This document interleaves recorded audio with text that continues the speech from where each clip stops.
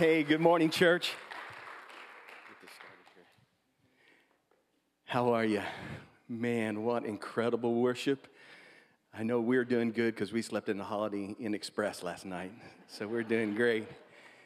Thank you for allowing us to be here. I want you to know how much we love your pastor. Um, we met them just months back and had this kinship just automatically, like we have known them forever.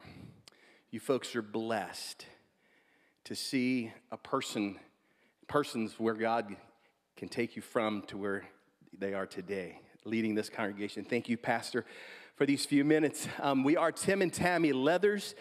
We are the founders of Lifehouse, which is a home for women that are struggling with life controlling issues and addiction. And how we got here is a really strange thing because I was chief of police in Wilton, Iowa for 15 years, and I also pastored a church there, bivocational.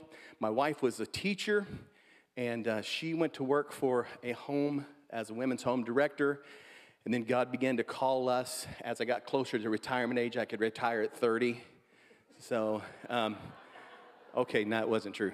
Uh, 55, and uh, we, I retired as the chief of police in Wilton. We, reti- we resigned from our church and became full time missionaries, U.S. missionaries with the Assemblies of God.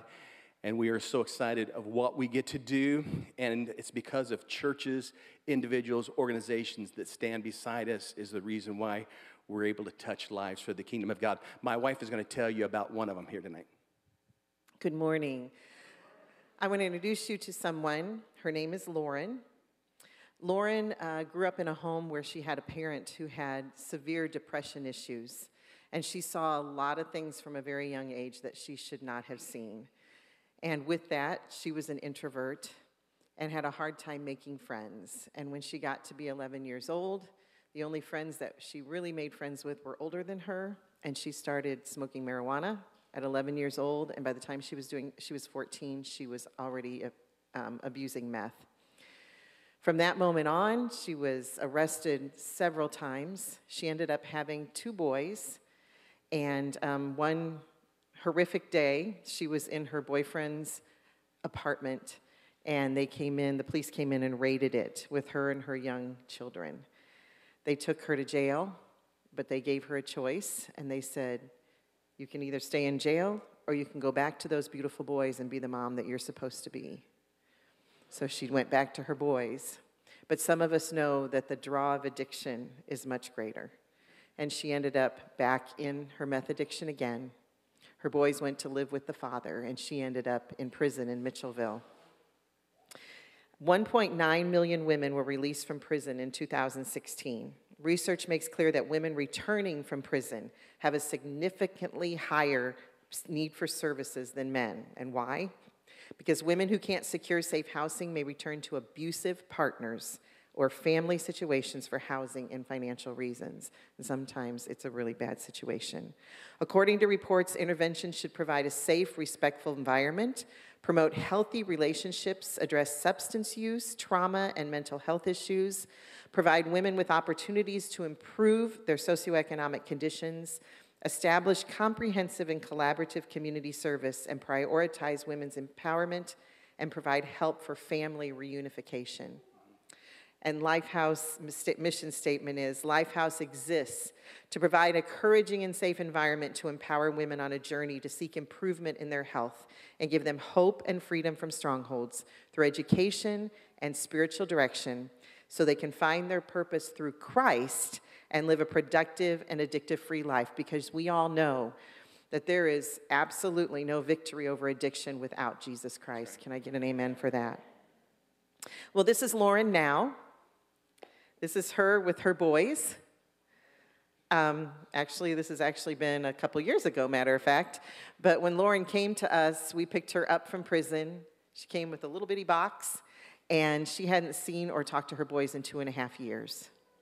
So when she, by the time she came to us, within the first couple of weeks, she was calling them on the phone, little short conversations that now have just blossomed and bloomed. Lauren um, the next picture shows Lauren. Lauren is a worshiper. Oh my goodness, she loves Jesus with her whole heart, and I love to watch Lauren worship. She now is our supervisor. She's graduated from, from Lifehouse and still lives with us. She graduated in 2020. and she is such a great asset to our women in our home. The next picture just shows a picture of some of our women that are or have been um, graduates of Lifehouse. And the next picture is a picture of our home, which was taken when we first moved in there, and it looks a lot better now than it does there. I need a new picture. and the next picture is us in front of our home because God gave us this, well, we were able to obtain and buy a 6,000 square foot home. So we were able to um, house many women. We provide 24 hours, seven day a week care.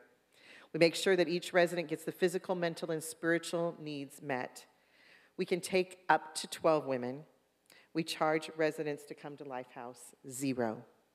Many of them have burnt their bridges and they don't know where to even get financial help for anything. So God told us when we started this ministry don't charge them. And He has made a way through churches, individuals, and community support that we can take in women and financially be able to help them as well. We want to be a resources to churches like you. Every church, every person in here probably knows someone who struggles with addiction man, women, men, women. We all struggle with addiction in some way, whether it's food, whether it's working too much, whether it's this little device that we carry in our pocket. we all have something that we are addicted to. These women have addictions that absolutely ruin their life. Well, one of the things I talked about is if we can't, um, if we can help them in any way when they leave us after a year, that we can help them be able to secure employment. That is a big help to them because we don't want them going back to the people that they used to be with. And so they need to be able to care for themselves and for their children. So we have multiple ways that we do that. One of them is um, what we call Second Chance Thrift Store. We just opened this about eight weeks ago. We are so thrilled and happy to be able to have this. And we we teach them job skills, we teach them people skills, we teach them so many things by using this. Plus, it's a resource to Lifehouse financially. I'm going to let Tim tell you about the next few things. We're passionate about training women to be able to support themselves, as Tammy said, because a lot of times if they can't support themselves financially, they just go back. So we believe that a woman can do anything she sets her mind to. Can I get an amen, ladies?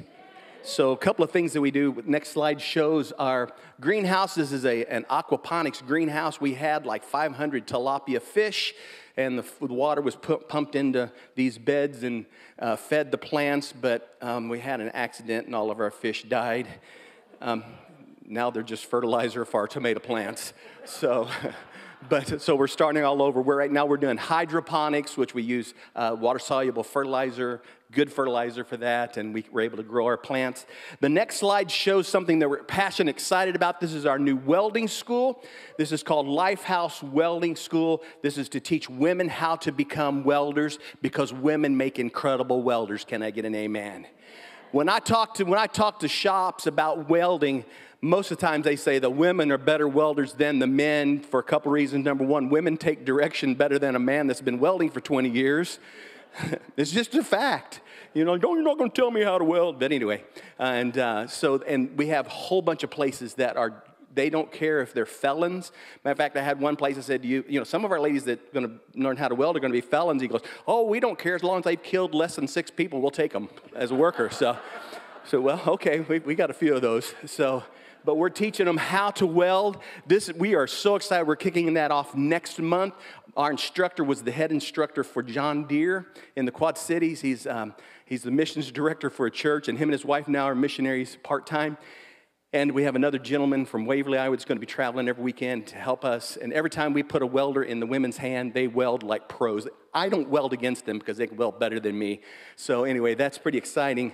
Um, the next slide is um, is just uh, inviting you to our table outside. Um, we want to be a resource for you. Take our card. If you know someone who is struggling with addiction, we can help ladies that are, that are struggling. We're one year program. And uh, also, this next slide is the, the passion of missions right here. This is the true definition of how missions work. You see that missionary that has waded out in the water after that one lost lamb. But you see, that missionary cannot do it without the local church that's hand in hand with them, standing there supporting them, praying for them, supplying them.